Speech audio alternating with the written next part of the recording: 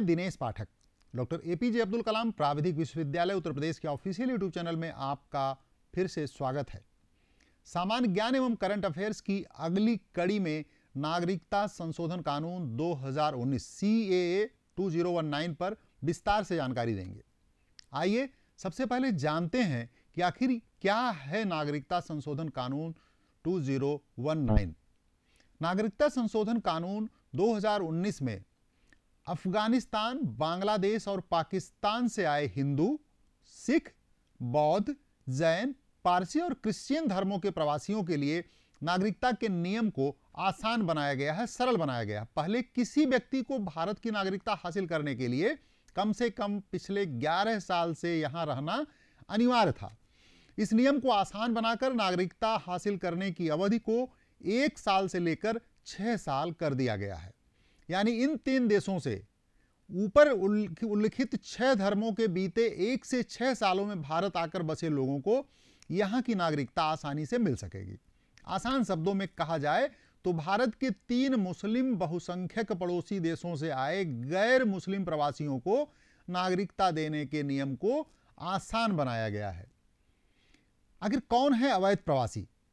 नागरिकता कानून 1955 के मुताबिक अवैध प्रवासियों को भारत की नागरिकता नहीं मिल सकती है इस कानून के तहत उन लोगों को अवैध प्रवासी माना गया है, जो भारत में वैध यात्रा, दस्तावेज़ जैसे पासपोर्ट और वीज़ा के बगैर घुस आए हों या फिर वैध दस्तावेज़ के साथ आए हों, लेकिन उल्लिखित अवधि से ज़्यादा समय तक यहाँ रुक जाएँ।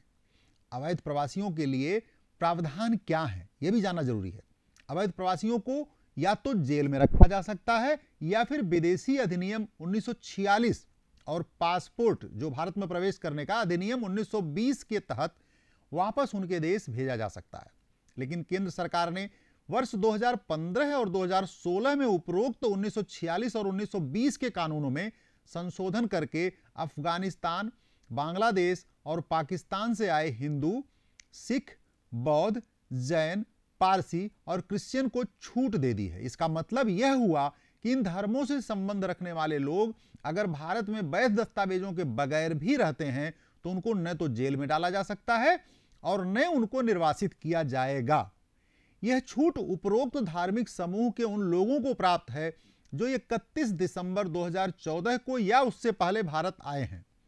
इन्हीं धार्मिक समूहों से संबंध रखने वाले लोगों को भारत की नागरिकता का पात्र बनाने के लिए नागरिकता कानून 1955 में संशोधन के लिए नागरिकता संशोधन विधेयक 2016 संसद में पेश किया गया था। अब आप कहोगे इस विधेयक का क्या हुआ? इस विधेयक को 19 जुलाई 2016 को लोकसभा में पेश किया गया था और 12 अगस्त 2016 को इसे संयुक्त संसदीय कमेटी के पास भेजा गया। कमेटी ने 7 जनवरी 2019 को अपनी रिपोर्ट सौंपी। उसके बाद अगले दिन, यानी 8 जनवरी 2019 को, फिर दोनों सदनों से पास कराने की ज़रूरत आखिर क्यों? संसदीय प्रक्रियाओं के नियम के मुताबिक, अगर कोई विधेयक लोकसभा में पास हो जाता है, लेकिन राज्यसभा में पास नहीं हो पाता और लोकसभा का कार्यकाल समाप्त हो जाता है तो वह विधेयक निष्प्रभावी हो जाता है। यानी उसको फिर से दोनों सदनों में पास कराना होता है। वहीं राज्यसभा से संबंधित नियम अलग हैं।